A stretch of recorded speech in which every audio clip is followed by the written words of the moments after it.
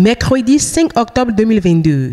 Amis internautes de Guérite TV Monde, bonjour. Le quotidien Matin Libre titre en manchette SIM virtuel au Bénin. eSIM, la nouvelle innovation de Move Africa. L'opérateur de téléphonie mobile Move Africa réalise l'inédit avec eSIM et se positionne comme le premier opérateur à proposer la SIM virtuelle au Bénin.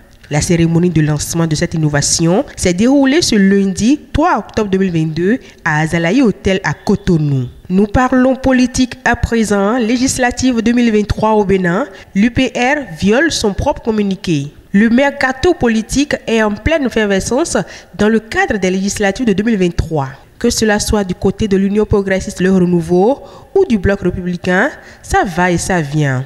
Mais la tendance est beaucoup plus observée à l'UPR où les nouveaux adhérents proviennent majoritairement du BR. Or, à son avènement à la tête du parti Baobab, l'ancien président de la Cour constitutionnelle a semblé dire que l'UPR ne se prêtera pas à ce jeu. L'Union progressiste n'a engagé aucune discussion de l'ordre et de la nature que celle initiée avec le PRD et ne saurait se rendre complice d'une instabilité ou d'un démantèlement des partis politiques constitués dans l'esprit de la réforme du système partisan.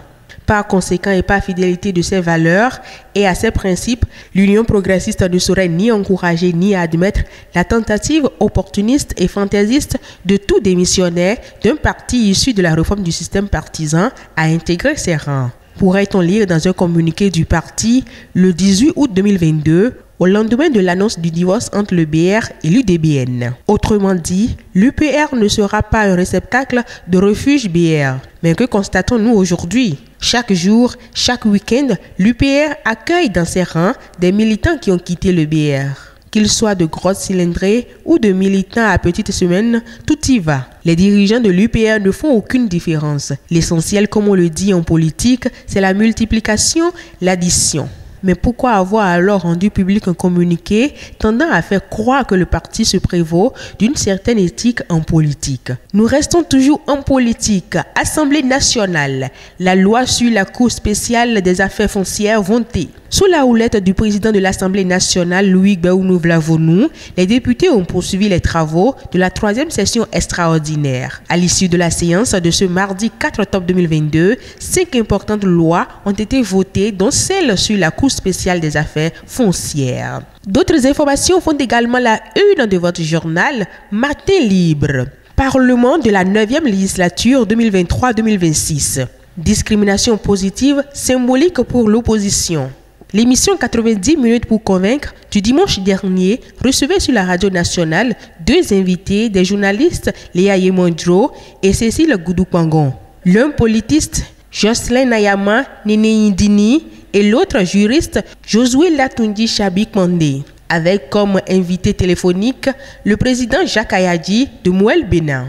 Autour du thème Le système partisan au Bénin, les conditions de renforcement de la démocratie, les rappels conceptuels historiques sur le système partisan et l'aperçu du contexte politique qui a justifié la réforme mise en œuvre à partir de 2018 ont débouché sur l'ébauche par les invités de perspectives possibles en vue de l'amélioration de la crédibilité du modèle béninois en construction. C'est à ce niveau du débat que Jocelyn Nénéidini invité au titre de l'école doctorale de sciences politiques de l'UAC, a estimé que les élections législatives pourraient accoucher de la même configuration que l'Assemblée nationale sortante en raison du seuil de 10% qui pourrait encore une fois se révéler insurmontable pour plusieurs partis, d'où un risque de la résurgence de la crispation de l'atmosphère politique dès le début de l'année 2023.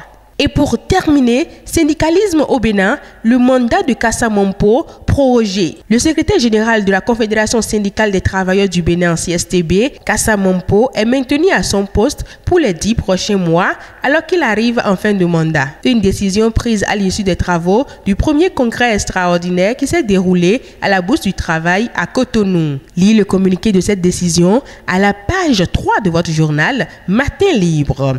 Amis internautes de Guérita TV Monde et lecteurs de Matin Libre, le contenu de la une de votre journal vous est ainsi Merci de nous avoir suivis. À demain.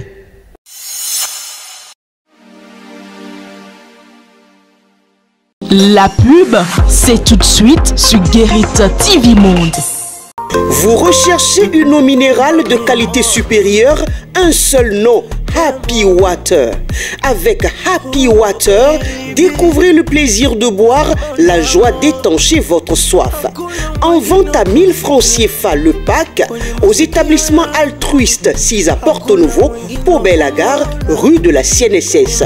Entrez dans le circuit de vente de l'eau minérale Happy Water en nous contactant au 00229 52 38 36 52. Happy Water, la source de vie.